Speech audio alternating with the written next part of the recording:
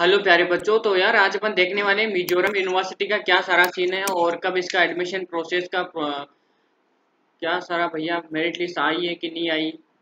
And हमारा admission का क्या सीन है, होगा कि नहीं होगा? कितने मार्क्स पे हो जाएगा? हम बहुत ही ज़्यादा परेशान हैं राइट बहुत सारे ऐसे बच्चे हैं यार जिनके काफ़ी लो मार्क्स हैं। तो भैया हमारा स्पोर्ट राउंड में होगा कि नहीं होगा? किस कॉलेज में होगा? कौन सी ब्रांच में होगा?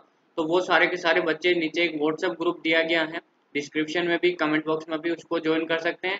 साथ में हमारा गया सी गाइडेंस प्लान चलता है। आप लोग उसमें भी इनरोल कर सकते हो, जहाँ पे टिल लास्ट राउंड तक आपका किसी ना किसी सेंट्रल यूनिवर्सिटी या स्टेट गवर्नमेंट कॉलेज में एडमिशन हमारी तरफ़ से पूरा ट्राई किया जाता है to provide the admission okay भैया एडमिशन के लिए कहाँ पे जाएँ? मैं तो कोई दिख भी नहीं रहा यहाँ पे। तो हालाँकि मैंने इसके रिगार्डिंग पहले भी वीडियोज़ बना रखे हैं, मिजोरम यूनिवर्सिटी के।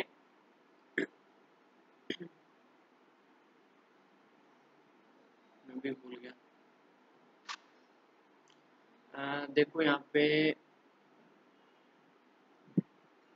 स्कूल एकेडमिक्स एडमिशन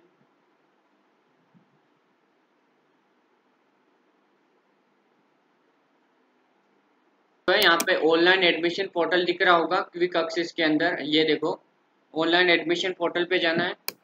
तो आपको ये सम्राट पोर्टल पे ले गया ठीक है? एंड यहाँ पे अभी तो ऑलमोस्ट आई थिंक ख़त्म हो चुका है।